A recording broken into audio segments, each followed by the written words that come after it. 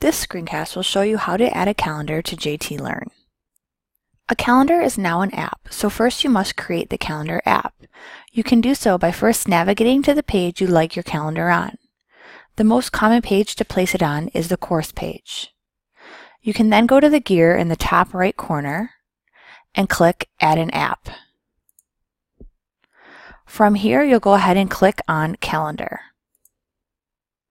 You'll want to give the calendar your name. I suggest the title of your course and the word calendar.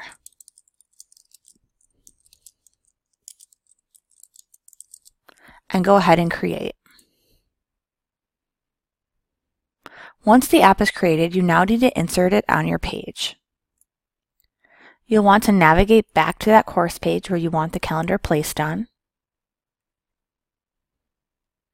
You'll want to go into edit mode. Place your cursor where you'd like your calendar. Click insert at the top and app part. From here, you should see the calendar that you just created as an app. Go ahead and click on it and then click add. Your calendar should now appear right on your course page. You'll then want to go ahead and make sure that you click save. You'll also notice that your calendar appears underneath recent in your navigation. If you do not want students to click on it there, you could go ahead and click Edit Links